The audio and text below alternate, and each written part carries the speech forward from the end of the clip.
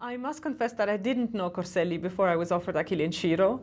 Uh, for, to my defense, most people I ask, uh, do you know Corselli? I'm doing Achille in Sciro by Corselli. Most people, even music specialists, will answer, who? so no, I didn't know Corselli, but I did listen to what was available uh, of his music. Unfortunately, not Achille in Sciro. Well, doing a piece that is unknown or rediscovery is very different from doing a repertoire opera because you, you, don't have a recording. And usually what I do is I listen to the music over and over again to get ideas and to get inspiration. In this case, of course, you can't listen to the music of Achille and over and over again because it does not exist. So um, I had to do it using a libretto first, which is not ideal uh, because if you do opera, you're going to work with the libretto and the music, and working with the libretto only is like working with half of the material. It's like staging a theatre play and doing half of the lines or half of the scenes. So it's quite frustrating, but um, luckily we, we got a score that was edited uh, during the process, and I could, I, you know, I read enough music that I could read the score and try and figure out what the music was going to be like, um, and have an idea of the music. And then the opera very kindly organized a recording of the piece uh, with a pianist who sang and played all of the parts of and all the music of Achille Sciro so that we could actually listen to the music and, and, and, and, and, get an idea, a more precise idea of what it was going to sound like. But it's a very unusual uh, process, which is really like doing a world premiere or a contemporary opera. What's really appealing in the libretto when you read it at first is this, this gender confusion. Uh, the idea that we have a Greek hero, and not any Greek hero, but Achille, who's the masculine warrior, wearing a skirt for half of the opera, dressed as a woman. So that's quite unusual, that's quite funny, and that's quite appealing, uh, especially for today's audiences and today's problematics. Uh, so that's one very interesting element.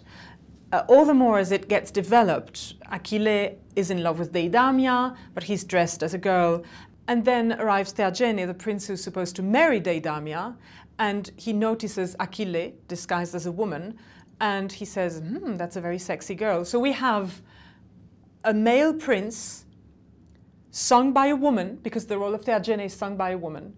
So a male prince sung by a woman who's sexually attracted to a man dressed as a woman sung by a countertenor. So that's a lot of layers of gender confusion that makes it very appealing and, and fun. And so there are a lot of very tragicomic elements. Of course, it gets more and more serious as the piece goes by, and it gets very sad and tragic, and uh, tragic, and it becomes this conflict between love and glory or duty. But in the first half of the opera, there are a lot of comic elements, which makes it a very good mix and a very appealing libretto for a director. That's definitely one of the very appealing things in the libretto. The other interesting thing about this opera is that we see the youth of a very famous hero, which is in a way very touching. We see Achille before he's Achille. We see the young Achille, who's, who has a lot of characteristics of the future Achille. You know, he gets angry very quickly, he's very masculine, he's very, but he's still very young. And we see in the course of the opera how Achille becomes Achille. That's quite touching. And we also have Ulysses. So we have these known mythological figures who appear and who interact. And that's, all, that, that's also very appealing in the libretto of Achille in Sciro. The image of love that we have in Achille in Sciro is also very interesting because at the beginning of the opera we have Deidamia, the princess, and Achille, the hero, disguised as a woman, as Pirra, who are in love.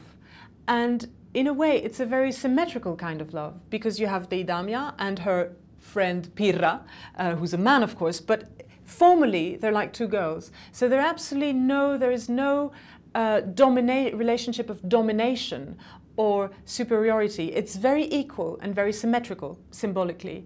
And then as the opera goes on, we break that symmetry, and especially Ulysses is there to re-establish the right order of how things are supposed to be like, which is the woman should be in love, and the man, it's fine if he's in love, but he shouldn't be only in love. The man has to be a lover and a warrior, and a man has to be both. And we have no symmetry anymore by the end of the opera. Achille of course, is still in love with Deidamia and he marries her, but he should also be able to leave her and go to war because that's where he's being called. Deidamia stays Deidamia and Deidamia stays in love and that's all she does and she has to stay there.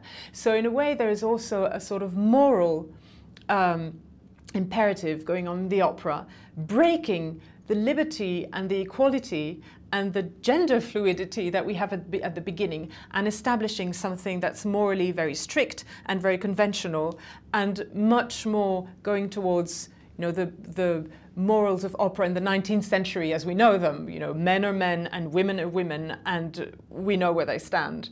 And that's also a very interesting uh, dramaturgical aspect of Achille and Sciro is that within one opera between Act 1 and the end of Act 3, we in a way have the evolution of male uh, female roles in opera between the 17th century and the 19th century. And Sciro, 1745, is just in the middle of that evolution. One thing that was very interesting for us is that Sciro was composed for a special occasion for a royal wedding between the Infanta de España and the Dauphin de France, Louis de France, the son of Louis XV.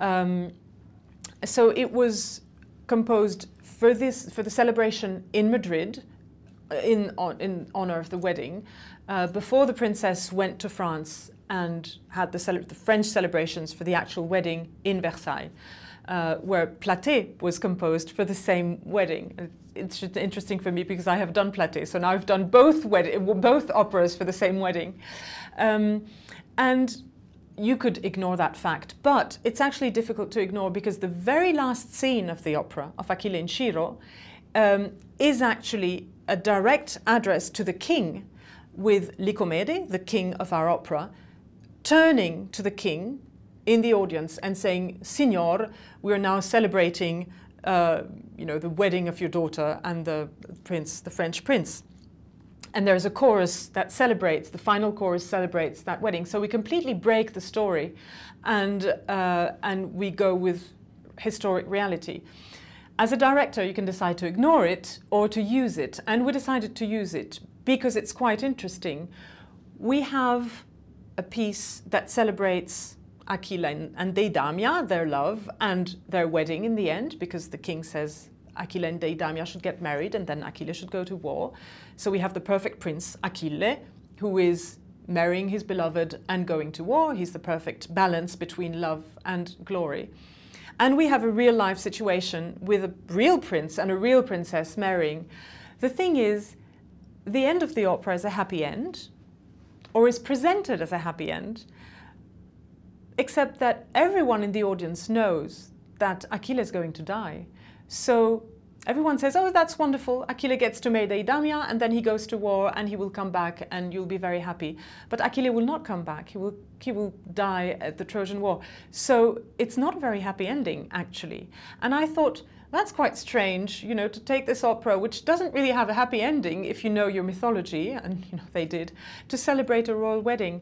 And the irony is that that wedding that was being celebrated did not, did not end very well either, because the princess died give, almost giving birth after she gave birth, a year after she got uh, she arrived in France. So in a way, it's almost as if this opera was a bad omen for that wedding, and I thought that was quite moving. You know what does this princess think when she's seeing this opera that's uh, supposed to celebrate her wedding? What is she supposed to learn from this? How is she supposed to understand the characters and the moral of the story and the ending?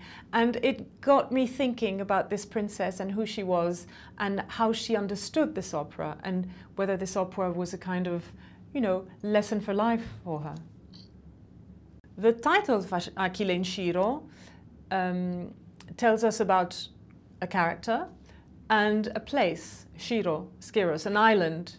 And how do you represent an island on stage? That's not very easy. But I think it's very important that it's an island because an island is somewhere you cannot leave.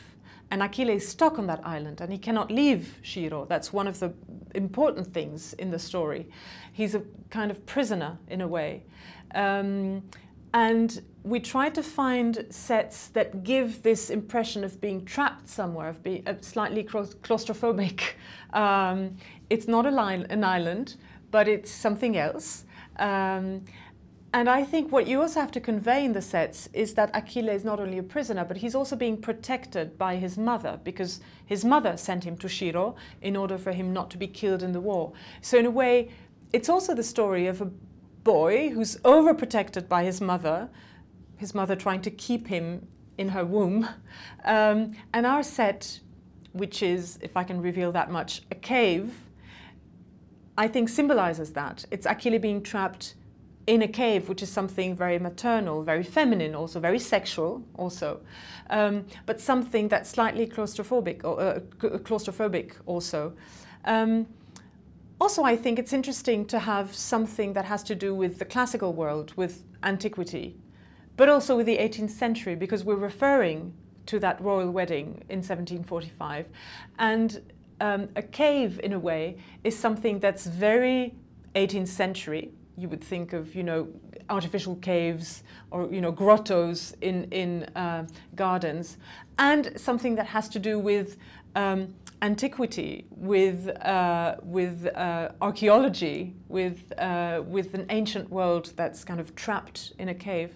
So we have this, um, this world that is also a fantasy world. It was very important for us to have a, a, universe of its own, something that's not realistic, something that is not a transposition, but something that is fantasy, because we're talking about mythology. So I think it's important to create a visual universe that's very strong and very appealing, and something that is a, a world of its own, with, with references, with an aesthetic that, that, that just belongs to that place, that magic place. Strangely enough, I think having a piece that no one knows makes the storytelling easier. When everyone knows the piece, everyone comes with different expectations and everyone has an idea of how it should be. Everyone has an idea of, you know, who Violetta is or who Carmen is, or, but no one has an expectation of who Deidamia is or who Achille is in this piece. And that makes our life very easy. I don't think my job is different from any other production I've done, I consider my job storytelling, telling the story to the audience in the clearest way that is possible, and you know, adding interpretations, emotions, references, of course. But storytelling is a very important part of my job as I conceive it. And with an unknown piece, everyone is on the same level. We're all on the same level. I don't have any preconceptions either. So all I have is me, the singers, you know, and the team, the conductor, and this story. And that's all. Nothing else. No parasite. No layers of expectations, interpretation. And we, we're in direct contact with the audience because that's all they have too. So in a way, it makes the storytelling very nice and very easy and very fluid, I think. I think you have to use the libretto, which is a very good libretto, because it's Metastasio. So the storytelling is really quite wonderful. And work with the singers, and we have a wonderful cast. We have singers who are real actors um, and characterize the characters and the relationships. And there you go with the storytelling. Even the gender confusion, the, the cross-dressing, I think, are dosed very well because it's complex enough that it's a good story, but it's clear enough that it's very easily understood. And of course, that's Metastasio. The fact that we have cross-dressing in Achille and Sciro could be confusing, of course, but it, it's not because it, the situation because the situations are quite clear. And actually, it's great for the storytelling because it uh, gives us very a lot of occasions to have very funny situations. Of course, Achille the hero in a dress or in a skirt is wonderful because you have men flirting with him and you have Achille being frustrated. You can also have Achille all of a sudden not knowing who he is anymore and being attracted to a man who's flirting with him. You know, we know the later story of Achille. We have we know Achille and Patrocle, and uh, you know we know what's going to happen. So in a way, all that is there already. Um, so I think the cross-dressing is actually a very rich thing, and it's it's not confusing. It's it just it's just wonderful material. 1745 is kind of in between for me. Um, and it's interesting because in many ways it reminds of uh, 17th century Venetian plots, you know, with gender confusion, cross-dressing, quiproquos, and, and, and tragicomic, like you can have in Cavalli, which I've worked on quite a lot.